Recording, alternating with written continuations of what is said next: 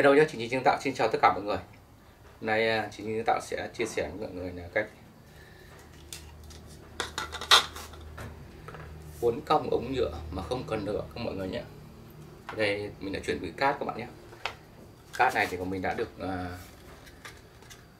được phơi ở trong nắng ngoài nắng các bạn nhé nóng lắm Ấy.